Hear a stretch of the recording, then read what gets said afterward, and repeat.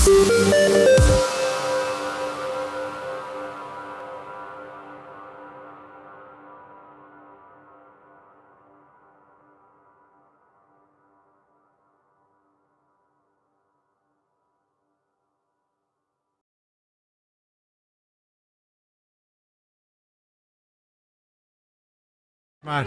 het zijn toch weer woelige, onduidelijke tijden.